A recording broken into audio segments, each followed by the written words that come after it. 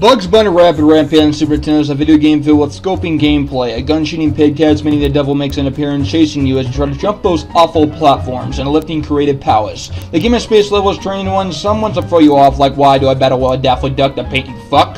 That can reveal some creativity as storms still lacking landfalls, but it's revealing in some short-staffed work. It connects confirming difficulty to a standard level, but I'd rather showcase it to any Looney Tunes crazy fan, lover, but it's not a bad masterpiece. Long in fact, which I really impressed with. That 13 levels because most games in the sense that lacking details. I hope so. Not bad, Sunsoft. Keep it up. I love your igloo balls. Daffy the Huggy Fucker. Love the Burrito Master, and I give this game a 10 slash 10. I mean 8.9.